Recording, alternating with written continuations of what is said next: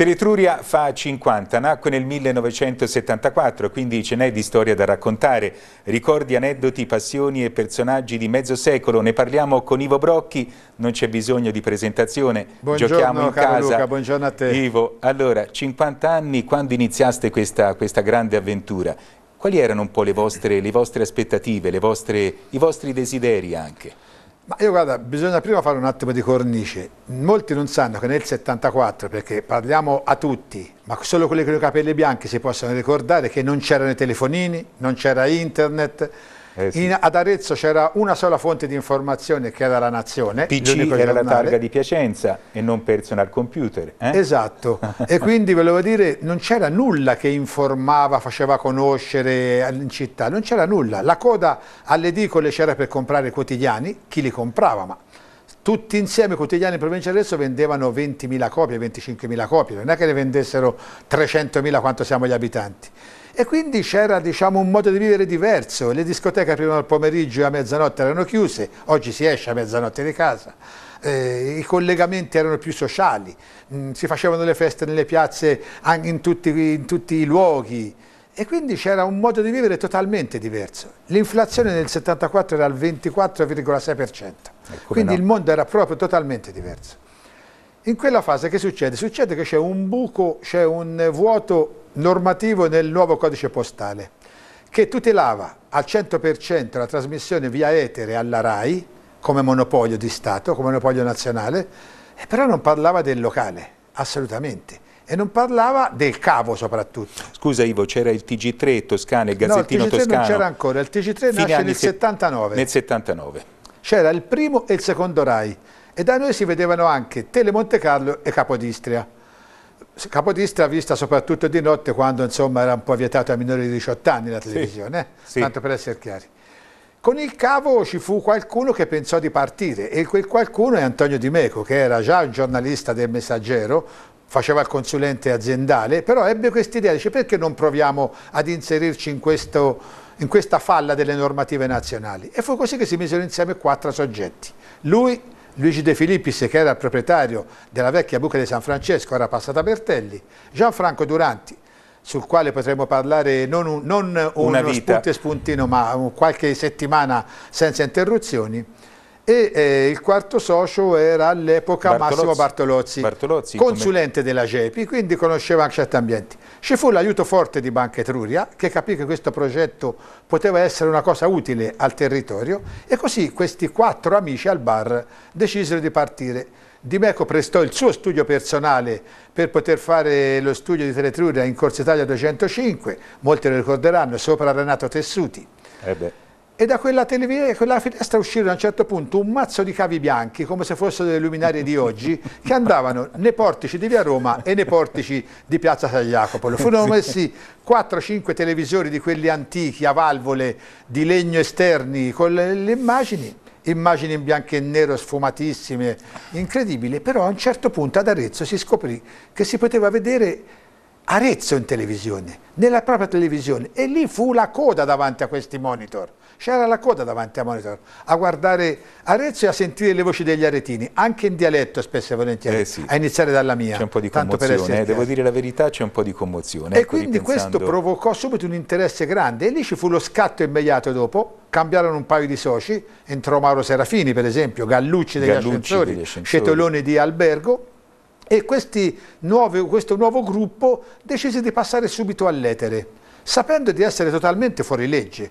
rispetto alle, alle, alle, normative nazionali. Però fu fatto questo passo e il passo fu eccezionale, fu la fortuna degli antennisti, perché montavano le antenne su tutti i condomini e le case di Arezzo e provincia.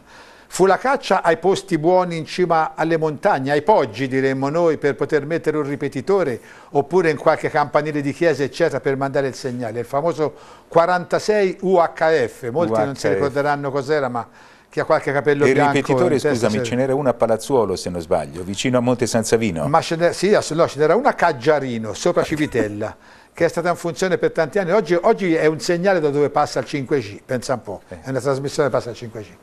E insomma, fatto sta, questa televisione prende campo e gli aretini si innamorano di Teletruria. Perché se ne innamorano? Perché tutte le sere alle otto e mezzo in anticipo rispetto per esempio alla Nazione che usciva il giorno dopo perché le notizie, erano del, le, le notizie che escono sui giornali sono del giorno prima, eh certo. non sono del giorno stesso.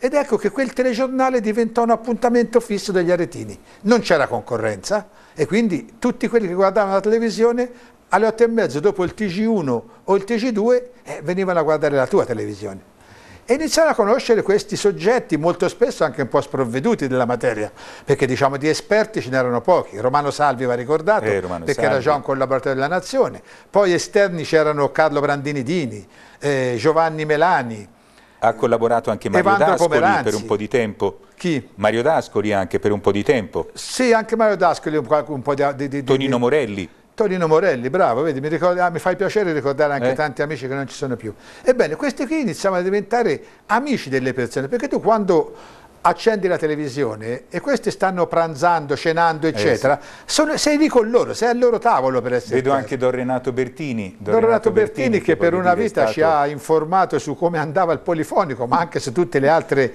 e gli altri appuntamenti legati alla religione, insomma. Ivo, il tempo sta volando letteralmente perché stiamo ricostruendo un po' anche la storia della città. Iniziò quindi l'informazione, ha avuto sempre grande importanza, anche al perché centro, sappiamo... Sempre al centro ecco. dell'emittente, ma c'erano anche altre cose, perché all'epoca si facevano anche trasmissioni leggere di divertimento. Il giochino è durato 15 anni, presentato da Vittorio Roggiolani con Massimo Cocchi, con, con eh, la Vismara Corazzesi che presentava con loro, inventarono il famoso barattolo con i fagioli da indovinare.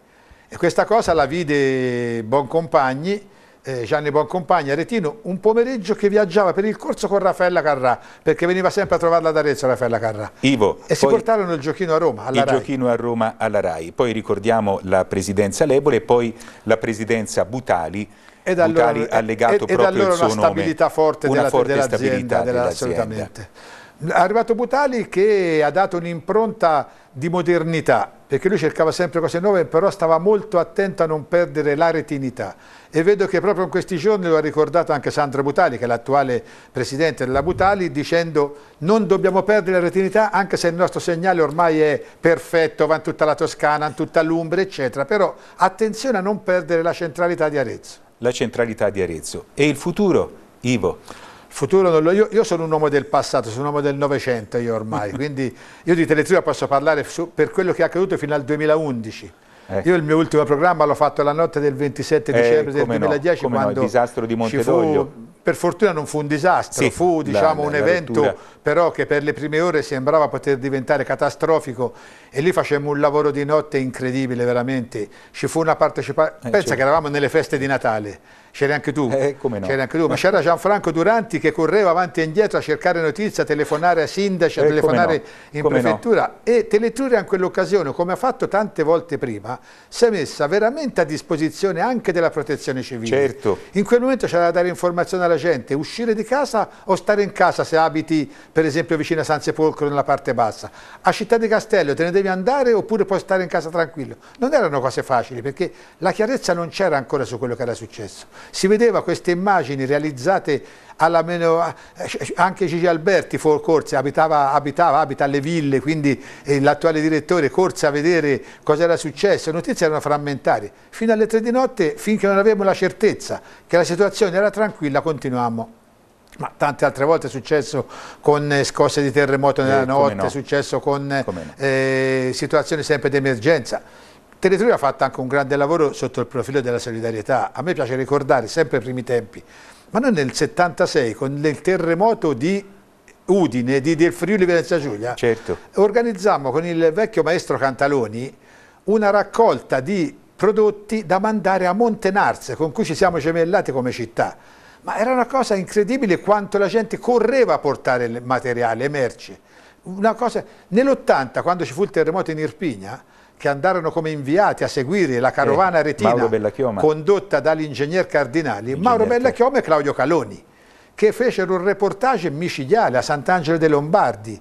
Eh, coordinato da Brunetto del Vita. Coordinato da Brunetto del eh? Vita, un'altra figura centrale che ha insegnato in questa emittente ad essere grandi professionisti. Perché vedi, quando nasce nel 74 Teletruria, grazie anche alle capacità tecniche di Guglielmo Franceschini, va ricordato, eh, un grande, un, una grande, un grande, persona, ovviamente come tutti gli artisti un po' particolare, però quando voleva fare le cose le sapeva fare. Quando arriva Brunetto Del Vita, che era un mago della comunicazione pubblicitaria, per avendo fatto il regista anche per dei film, insegnò qual era il linguaggio giusto per entrare in televisione, per arrivare subito all'assodo e li ricordiamo tutti con, con, con affetto. I, I, tecnici eh? nostri sono stati bravi perché hanno imparato da lui, tutti da lui. quanti. Ricordiamo Caloni, eh, Vardi, Teci, eh, Antonio. Antonio Cherici. Antonio eh. Cherici che non è stato un tecnico, è stato un dirigente di questa azienda, ah, è stato anche direttore di 102 TV, certo, dove tu sei certo. stato per un po' di anni, quindi te lo ricorderai. voglio dire, era uno ormai del gruppo, del gruppo de, de, di comando della nave, insomma, ecco, una grande persona. Ivo, promettimi che tornerai ancora a spunti di vista. Eh? Quando mi chiami, se mi chiami tu come faccio a dire di no? Ti ringrazio. grazie, grazie davvero a Ivo Brocchi. La linea può tornare per il momento alla regia, grazie.